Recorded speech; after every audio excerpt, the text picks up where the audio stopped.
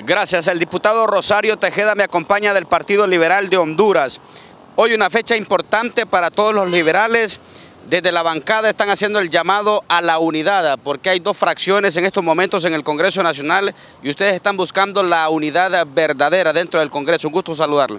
Eh, muchas gracias, Ale. Hoy pues eh, los liberales estamos de fiesta, estamos celebrando nuestro 129 aniversario y es un día pues especial y, y especial porque es importante llamar eh, a todas las fuerzas eh, del Partido Liberal a construir una unidad, ya que el partido eh, desde el 2009 para acá pues viene sufriendo una crisis sin precedentes donde hay mucha convulsión pues a lo interno del partido y es necesario pues buscar esa unidad, pero una unidad pues que se dé de hecho y no de diente a labio.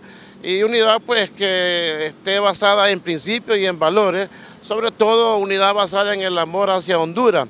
Pero también es necesario que como liberales pues tratemos de, de resolver los problemas internos que tenemos para eh, poder pues fortalecernos como partido y como antesala pues pasar a formar parte ya de una coalición que nos permita pues sacar al gobierno eh, que está en el poder y que es necesario para la salud de todos los hondureños. Muchos llaman al Partido Liberal como el cadáver, como el muerto, pero hay eh, viveza en este partido, hay esperanza de que este partido pueda ser nuevamente gobierno en un futuro.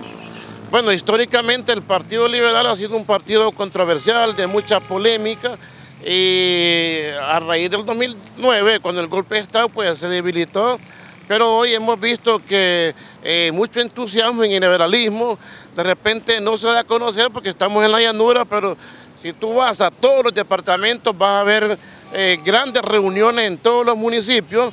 Eh, sumado a eso, pues ya mucho líder que se había ido del partido está regresando y esto nos da una pauta pues, de que el partido se va fortaleciendo, pero falta una mayor conciencia pues de todos los liberales, sobre todo los dirigentes, para que entiendan que la unidad es, eh, importante, es necesaria, eh, tanto para el partido como para el país.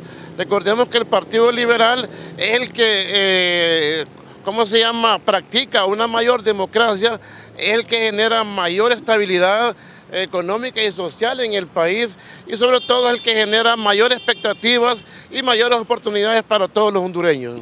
El diputado Rosario Tejeda de la bancada del Partido Liberal dialogando con nosotros. Junto a Johnny Duarte voy con ustedes.